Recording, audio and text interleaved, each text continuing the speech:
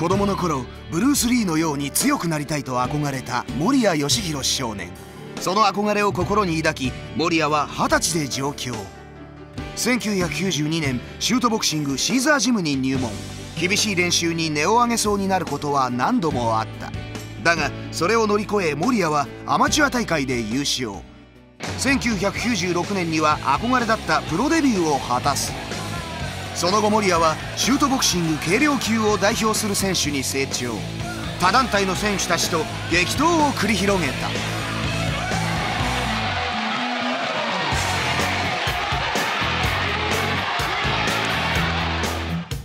そしてシュートボクシングスーパーバンタム級王座を体感2004年にはシュートボクシング仙台大会を開催し故郷に錦を飾っている。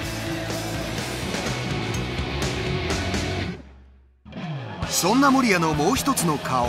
それはシュートボクシング広報としての顔。裏方としてシュートボクシングを支える傍ら選手としても試合に出場することからいつしか戦う広報と呼ばれた。その守谷がついに選手の顔に別れを告げる時が来た。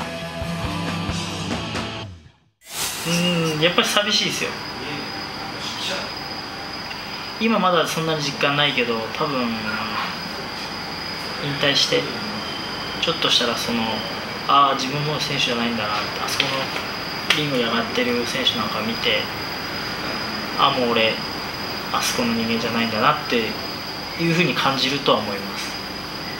だちょっとずつ大会が近づくにつれて不安がこう広がっていくのとあとはなんか本当に寂しさみたいなものはちょっとずつ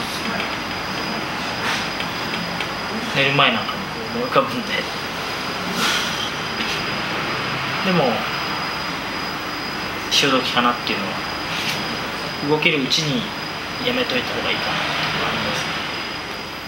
勝ちで終われればもうこれに越したことはないですけど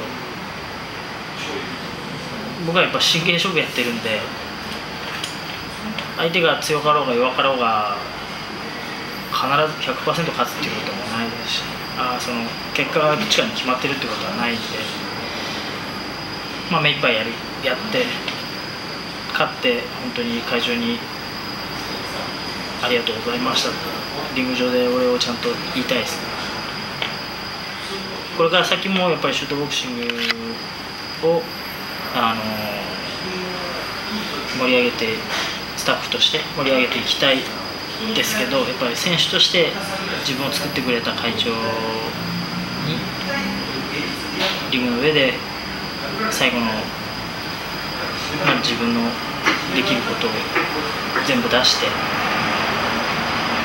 それを見てもらって。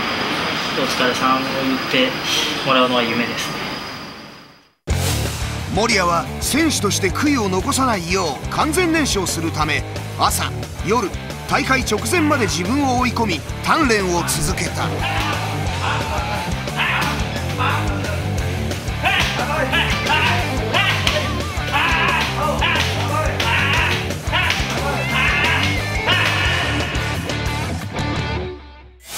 そして試合当日午前10時後楽園ホールに守谷が計量にやってきた。そうですね選手として最後の計量。もう多分人生最後の50キロ台だと思うんで。実感なかったんですよね。やっぱもうどんどん湧いてきてもう今ぐらいになったら全部何でも試合前のこの感覚ってもう最後なんだなと思って。みんなとなんか計量するためにこうやって。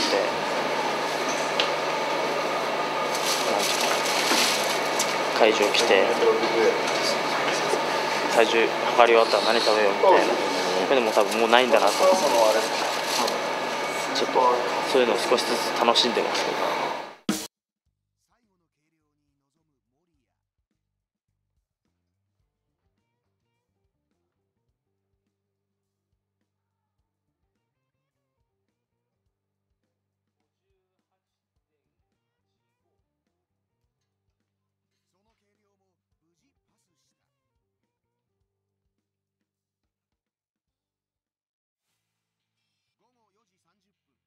再び後楽園ホールに入った守谷会場内を見回しなんだか落ち着かない。そして守谷最後のリングチェック。入念にリングのコンディションを確かめる。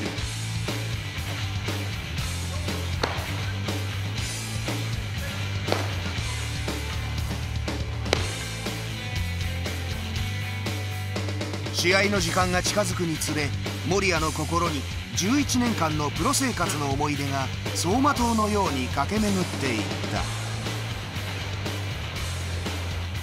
そしてついに最後の試合の時間を迎える守谷義弘引退試合。赤コーナーより守谷義弘選手の入場です。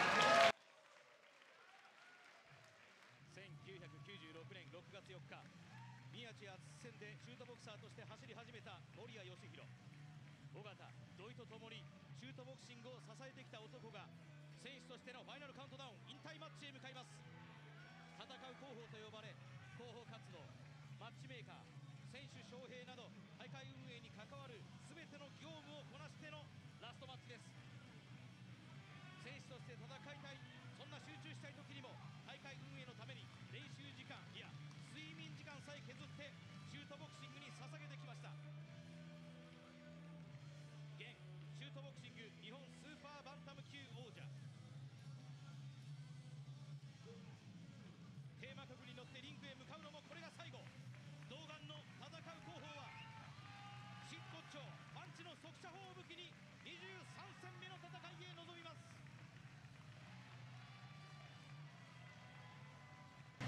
重田さん、戦う候補戦う候補としてはこれが最後ですね。そうですね、あのーちょっとやっぱりどうしても仕事が忙しいので心配したんですけども、はい。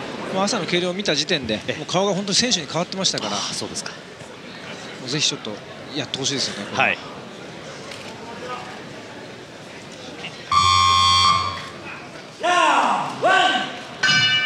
守谷義弘引退試合 59kg 契約3分3ラウンド制パンチのコンビネーションから右のローキックを放っていきます守谷右のフック左の膝につなげていきます。マイク・ボードウィン。左のミドルキックです。右のローにつなげます。シュートボクシング日本バンタム級現在でも王者です守谷王者のまま現役を退くという形になります。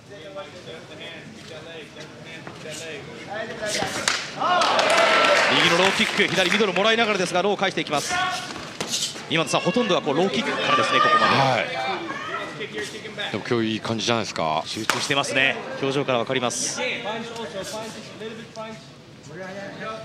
まあ、対戦相手がこう2点3点したんですが結果アメリカフリーダムファイターズのこのマイク・ボードウィンとなりました。右足前のサウスポーの選手です、まあ、多分ここの情報もあまりないぐらいだったでしょうからね私も今構えて分かりました。そうですね。まあでも重田さん、はい、シュートボクシングっていうのはこういわゆるこういう選手っていうのはこうよくあるんですよね。そうですね。で恐ろしい選手がこう過去何人もいました。はい。あの多お分体お蹴りのフェイントから左。えー体も大きいですよね。そうですね。骨格が一回り二回り大きいです。そうですね。階級としてはちょっと一個上かなっていうような感じですけども、はい。森谷選手本当冷静ですね。うん。アッパーから入って左ストレートにつなげるのがマイク・ボードウィン。右のロー出足を止めます。ちょっとローブロー気味か。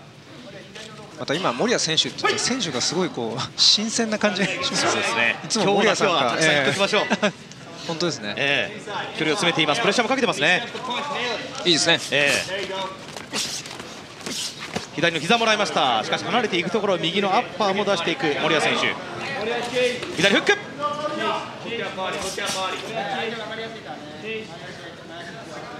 今田さん、でもなんというんですか、まあ、最後の現役としては最後の選手としては最後の戦い、これはもうダメージなく終わってほしいですよね、何そうですにしても。ね。でもなんか不思議な感じですね。なんか最後って感じがしないんで。そうですね。なるほど。今田さん、よくこう例えば最後はエキシビションマッチで終わらせたりそんなこともありますけどもね。左ハイキック花咲かすめます。やっぱりそういうことは静田会長はさせませんよね。ちょっとバランス崩しました森谷残り時間30秒この戦いは3分3ラウンド制です右のロー。池田さんでもこうしっかりプレッシャーかけてどんどん追い込んでますね。そうですね。まあ、きっちりと、まあ、多分下から、まあ、下半身からこうはい。殺していくっていうところだと思いますけども、ちょっと足を先ほどから滑らせるシーンが何度かあります。しかし表情は全く変わりません。おお前足トンと外側から。ここで第1ラウンド終了のゴングです、うん、一つ大きな息をふーっと吐きましたうん、ちょっと余裕の今表情で相手のこう戦況を今しているようですね。森谷義弘引退試合。続いて第2ラウンドです。3分3ラウンド制です。飛び込んでくる。左のストレートを出してきたのがマイク・ボードウィン、うん、パンチを出す前にローキックでまず崩します。ミドルキックだ。投げに流れた。左の蹴りもう一つ。やっぱりパワーありパワーありますね。そうですね攻撃が大きいんで見えやすいと思うんですけど、はい。やっぱりリーチがあるんで届きますよね、まあ本当に骨格のちょっと違いもありますしね。ありますね。右のミドルキック。うわー左ローにつなげます。今田さんこのマイク・ボードウィンも綺麗なコンビネーションっていう感じではないですけども、あーナイス。さあ入った。いいパンチ入ったんじゃないですか今。ミースート入りましたねもうリーチの長さが全く違います。この辺りも届いてきます。しかもこれなんかギクシャクした攻撃なんですけどね。届いてくるんですよね、えこれやりづらい相手です。ましたおローマ来ました。来ました。ー、ました来ました。ボードウィンの奥足の方を聞いて今度は前足イン側からインドを放ちます。ミドルもらう前に軸足に蹴り込んできた。もうナイスロー蹴りが交錯します。インドをもらうが全く下がりません。森谷森谷の右のローキック最後当たっています。これもそうです。来ましたね。そうですね。右足でもう多分踏ん張れないと思いますね。はあはあ。さあ聞いています。さあフィニッシャーローかまだ第2ラウンドです。今半分経ちました。1分30秒。右のストレートでつなげます。一旦距離を取る。右。のインドを放ちます。セコンド陣からは上中下と森谷選手に指示が飛びます左ミドルこれを流しておいてしかしまあドカンっていう感じで非常に重さがあります。ここから見ている限りは。おお前足を内から外から蹴り込んでいきます。パンチ出しますがその後は出させない。蹴りの方が早いか。相手もやっぱりスイッチ。足も蹴られたくないんですよね。そうですね。スイッチしたりいろいろしてきますからここもそうです。あスイッチしましたねまた。はい。今度はスイッチした前足を蹴りますこれマイク・ボードウィンにとっては三松さんこれ地獄ですね。ああーすごいですね。もう効いてますね。えー一つ今ちょっと引っ掛けるようなフックもらいました。これが怖いか。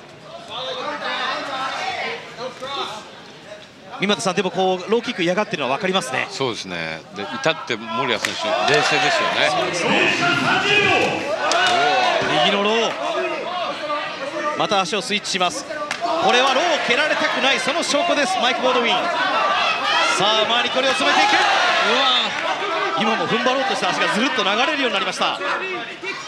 コーナーに詰める。腕の力だけで振り回すパンチも結構やっぱり重いですね。いいですね。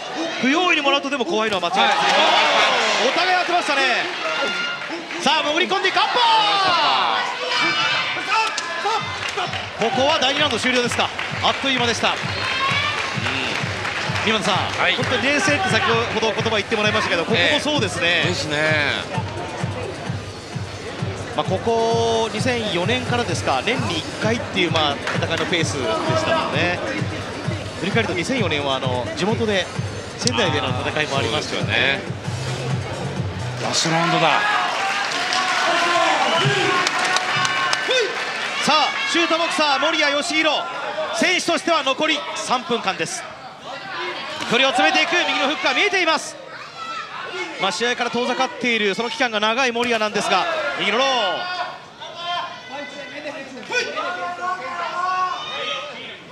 じわじわ青コーナー側に詰めていきます左ミドルをもらいました守谷右のロー返すもう一つ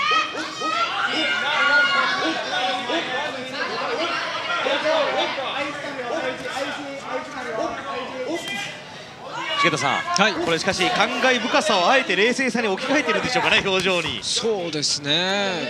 あまりにも冷静ですね。そうですね。でも本当今は完璧に選手モードでやってますよね。そうできる舞台なんですねここは。そうですね。相手もなんか花を添えようって気は本当にない。さらさらないですね。ですねまあ彼にとってもこれはビッグチャンスですからね。それは本当そうなんですよね、え日本でやっぱりやりたいっていう気持ちは強いみたいですからね、さあ聞こえますか？会場から森谷コールが起こる。家族仲間の声もこの中に入っています。しかしマリー・デングマイク・ボールン。よくさばきました。いやでも三本さんローもらってるんですけど出てきますねボードウィン。ねしかしも非常なまでに森谷はローキックの顔面。さあ残り半分になります。最終の第3ラウンド。左フックテンプル捉えました。一瞬動き止まった。左ミドルキックにつなげてきます。マイク・ボールウィン。おお今変則的なハイトを見せかけてミドルです。しかし捉えてもらった。飛び込んでくる。これ危ないぞ。左ミドル。いやーしかし表情変えずのっしのっしと前に出てきます。戦う後方ワンツーいざ完全に上がっています。さすがシュートボクサー。綺麗でしたね。でしたね。すごいな、やっぱりキックボクシングとは違う戦い見せてますね。本当ですね、シュートボクシングの素晴らしさを伝える役割でもあるわけですからね。いや方法としては。本当なんかお手本の試合ですよね、はい。下から崩していってパンチにつないで、で最後はシュートっていう、そして会場の森谷コールがさらにボリュームアップしています。残り時間30秒切っている。はい手。さあ倒せるのか。左ミドルが出てきますいや森谷もやはりちょっと疲れがあるか。前蹴り。あボディ効いてるボディ効いてる。残り時間10秒ださあ森谷選手。インロー左フック取られてる。取られてる。残り3秒。ローキックも絡めてダウンで決めるか。ここでタイムアップ。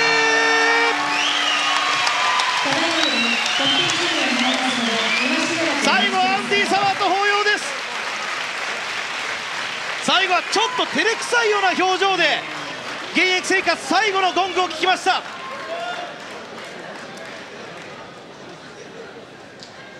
いや宮田さん、はい。あと10秒あったら倒せましたね。ねえ。いやでもなんか実にあの投げがなんかなんですかねすごくこう感慨深かったな。シュートボクシングのリングなんだよここはっていうのを見せてくれるシーンでしたね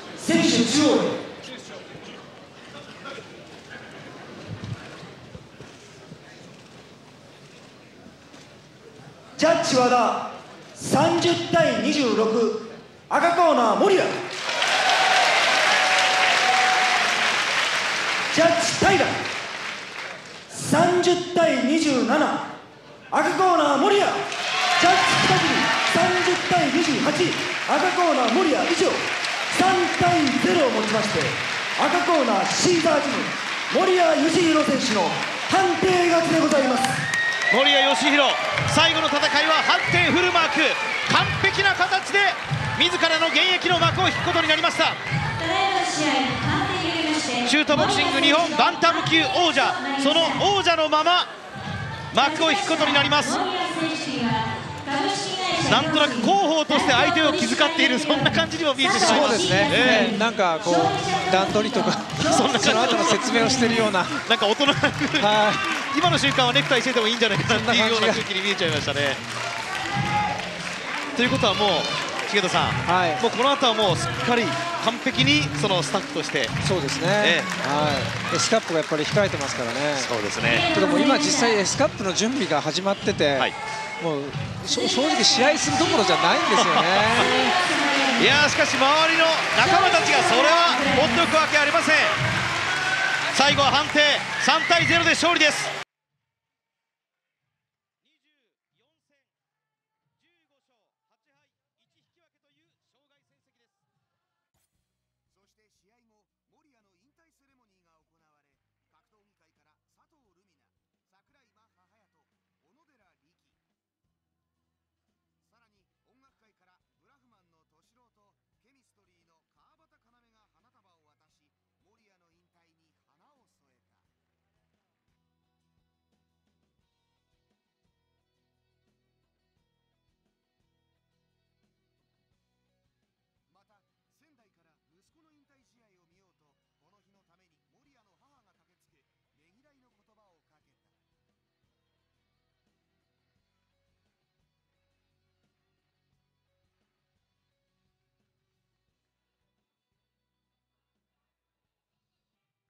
さらに師匠シーザー武史会長もリングに登場。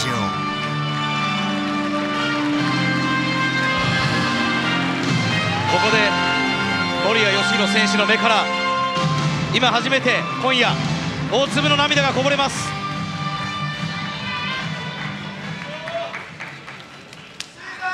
守谷の引退式をしてやりたくてこの時間を取らせてもらいました、えー私のところに15年ぐらいいましたでしょうか、まあ、あの僕の弟子の中では最低な男でして、まあ、練習は練習は大嫌い。夜の夜の遊びは大好き。まず酒が大好き。で女は好きなんですけどその前に潰れるという。本当にあの困ったやつですね。もう僕はいっぱいいましたけどもこれほど毎に毎回毎回お前もうやめろと言った選手は本当にいません。しかし飽きずに15年ついてくるんですよね。僕ね一生懸命その道にどんなこと言われようがどんなことされようが一生懸命15年間その道についてきてる最近の若者いないと思います。それだけでも僕は大したもんかなと。そう思っております。この間2人で話しましたところ、えーお前現役としては最高に悔しいだろう。悔いがいっぱい残ってるだろう。僕が話しましたらはいそうです。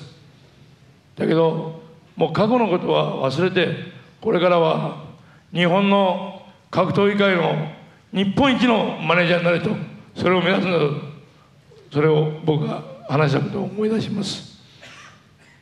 本当の意味で頑張ってあの人間ってその花がある時だけが一生の人生じゃないと思うんですね。一生続いて何が残せるか何がやれたかっていうことが僕は大事なんじゃないかなとそういうふうに思うんです。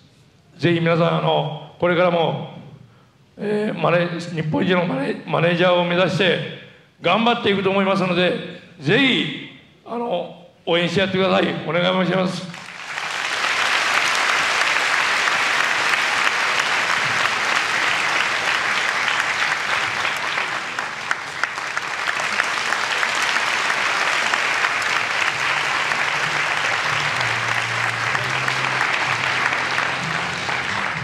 えー最後にはなりましたが、えー我々シュートボクシング協会はシュートボクシングを通じて一生懸命世のため人のためになれるような若者を作ってまいります。そして打たれても打たれてもまた這い上がるその負けず魂シーザー魂でみんな頑張っていきますのでよろしくお願いします。11月3日はぜひ素晴らしいマッチメイク組みますし素晴らしい試合をやりますのでぜひ両国国技館においでください。お願いします。ありがとうございました。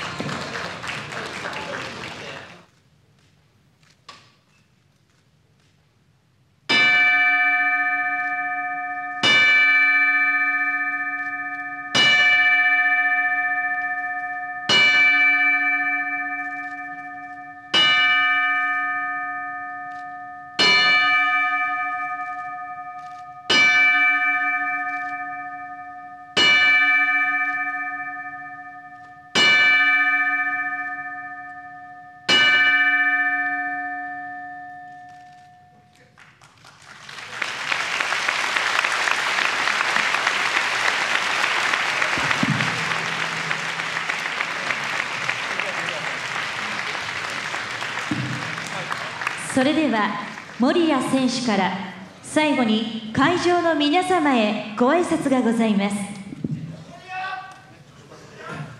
えー本日は皆さん、えーちょっと、えーお忙しい中いらしていただいたのに僕のためにこんな時間ちょっと割いてしまって申し訳ありません、えー本当に、えー今日で引退ということなんですが、本当みんなに、えーみなえー感謝の言葉を述べさせていただきたいと思います。えーまず自分を産んでくれてねじ曲がらないように育ってくれた、えー親父や母ちゃんそして自分のことを、えー周りで一緒に辛い時悲しい時に、えー楽しい時みんな一緒にくれいてくれた仲間、えー今本当に仕事なんかで一緒に頑張ってる事務メイト協会の事務員で何より僕に僕を何一つちょっとやりきったことのない僕をチャンピオンまで育ててくれて、えーこういう場所を与えてくれた椎田会長に心から感謝したいと思います。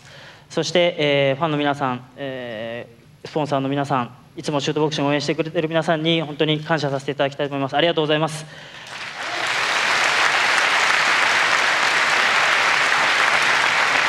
えー今日で引退しますけども、えー僕は僕が青春をかけてきたシュートボクシングをこれから一生かけて世界に羽ばたかせていきたいと思いますのでこれからも応援よろしくお願いします。ありがとうございました。2006年9月23日格闘技の聖地で11年間の現役生活にピリオドを打ちます。さあこれからはグローブをネクタイにロングスパッツをスーツに変え守谷義弘新たな人生スタートとなります。いや終わったなっていう感じですねほっとした感じ。ほっとした感じでありあるのもそうだしあとは最後までちょっとパッとしない試合をしてしまったなっていう。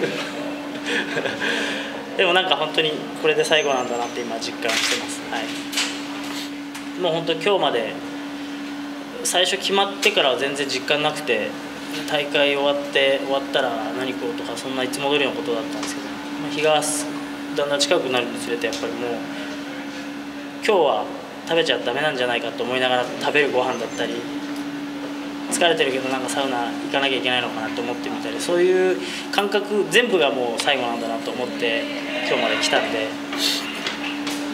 まあすごくちょっとあのかなんなんとか勝って終われたっていうこともあるんですけどすごい今すっきりしてはい。エスカップに向けて頑張ろうと思います。もちろんありますけど、まあ、今まだそんなに実感ないのかもしれないですね。